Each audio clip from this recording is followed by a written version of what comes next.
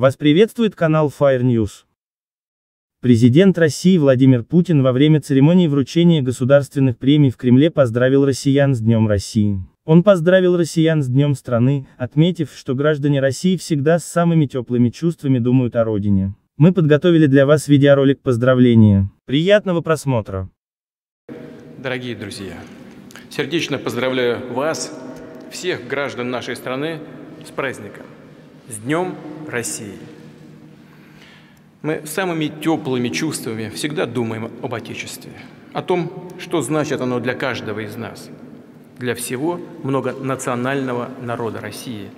Дорожим ее тысячелетней историей, великой культурой и грандиозными достижениями, уникальным природным богатством, красотой ее огромных простор, разнообразием и самобытностью регионов.